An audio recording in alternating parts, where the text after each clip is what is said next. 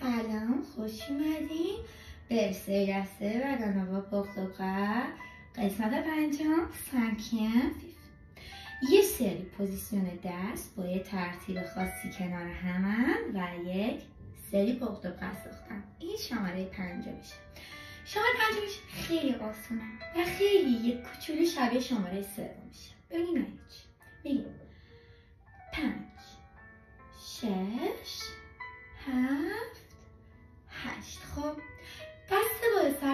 کن. این دفعه از خود کام خبریم پایین خب؟ کمر صف یه پونش خوشگل میریم پایین. اینجا که رسیدیم ولش کن. دستا به هم برسن. یه کوچولو به سمت پای پشتیتون بیاین بالا خب؟ بعد اینجا آروم ببین منو قشن یه دستت میره دو یه دستت اینجاست. جای دستا تو این چرخش آروم آروم عوض میشه.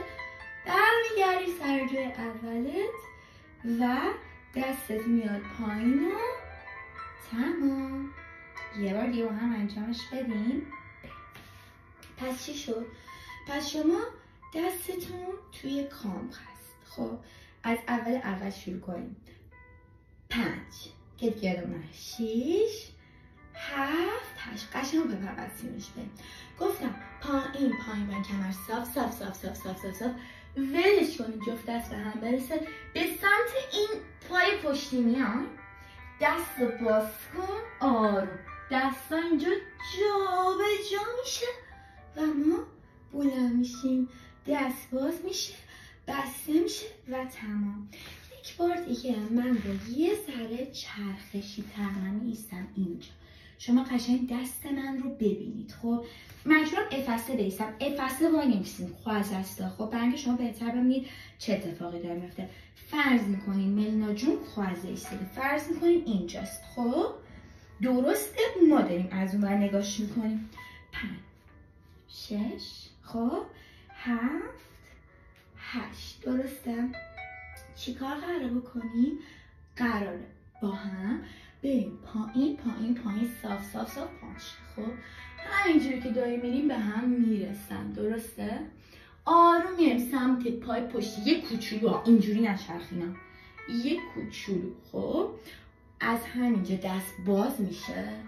این جای دوتا دست تو این توران عوض میشه. و تمام. باشه؟ یه بار یه با هم انجامش بدیم خوازه شش هشت دو پنج سه چهار یه سر بچرخیم پای پشت شش هفت هشت یک دو سه